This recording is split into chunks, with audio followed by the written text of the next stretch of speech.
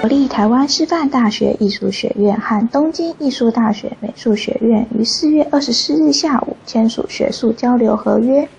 希望两校合作能够共创东方的艺术发展。两个学校的合作，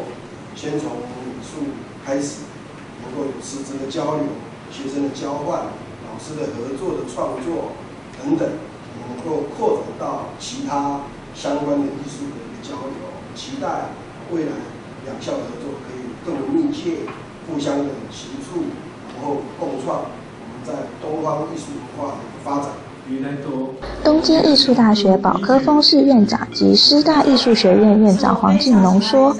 透过中日不同文化，可开启更大的成就契机。”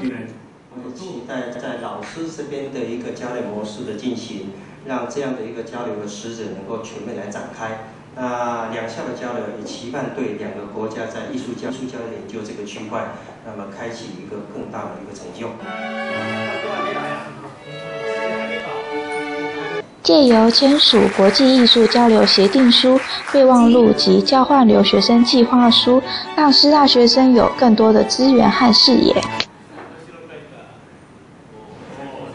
记者许艺文采访报道。